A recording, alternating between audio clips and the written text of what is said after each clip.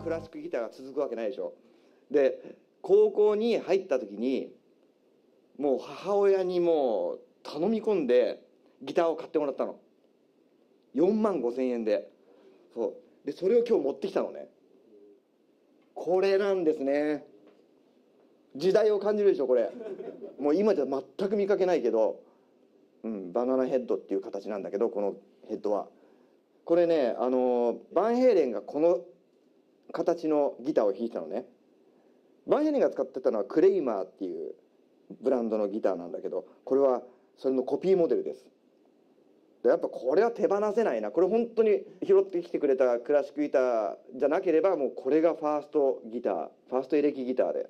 高校3年間はもうこれで過ごしたのね。ちょっとで二十何年ぶりかにちょっと電気通してみようかと思う。いいですかこれ。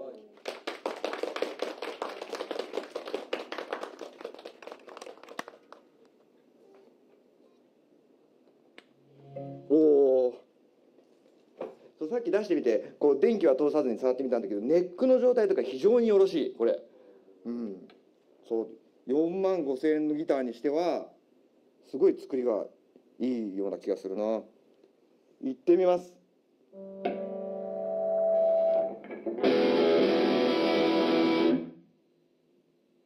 これメインギターでもいいんじゃないの？もしかして。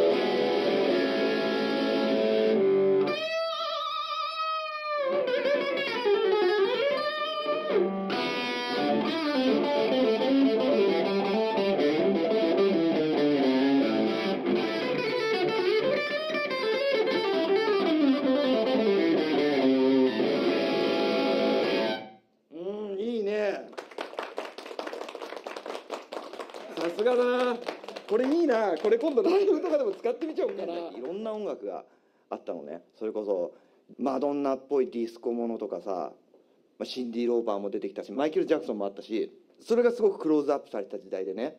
でいろんな音楽を普通にこう同じ目線目目線というか耳線というかそういうので そうそう聞けた。結構いい時代だったのよ。そんな時代に生まれて俺は得だったなって今でも思ってんだけどそんな中で俺はあのやっぱ好きだったのがハードロックとかヘビーメタルっていうのが自分の中でいっちゃん過激なんじゃないかって思って ねやっぱね当時若者はやっぱこうね歪んだ音とかにこう飢えてるわけでしょ。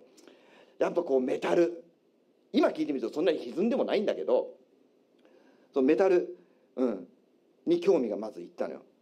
いろんな雑誌のタブ譜を見てデフレパードってバンドのフォトグラフ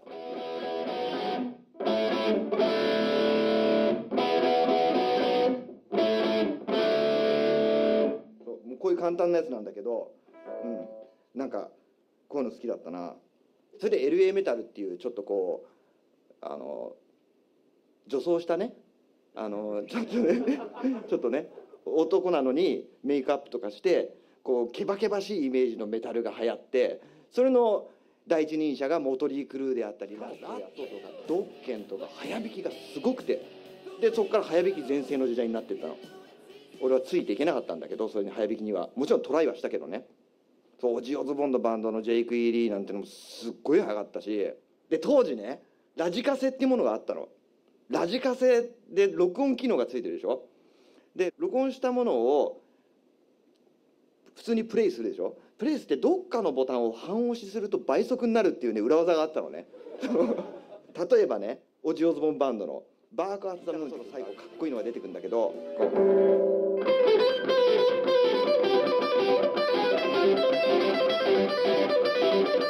まあ今でもあんま弾けないんだけどね。でこういったフレーズがあってこれ速いのね。でそれを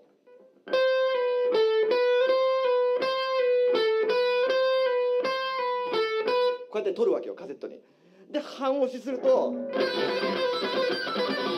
うこう聞こえるわけ。で俺いけてるみたいなね。そう。そうやってこうバンドに入るとかさバンドでギターを弾くとかっていうよりももうギターっていうものが好きでほんでギターを弾く自分手元から音が出るっていう環境がすごい好きになってもうどんどんどんどんギターにのめり込んでった感じなのね。うん、そうで一番好きになったのが今の「ティロリロリロリロ」の前のギタリストでもう亡くなっちゃったんだけどランディ・ローズっていう人でもうクラシカルってランディ・ローズですよみたいなそんな感じですごいこう日本人好みするようなフレーズをいっぱい弾いてて例えば。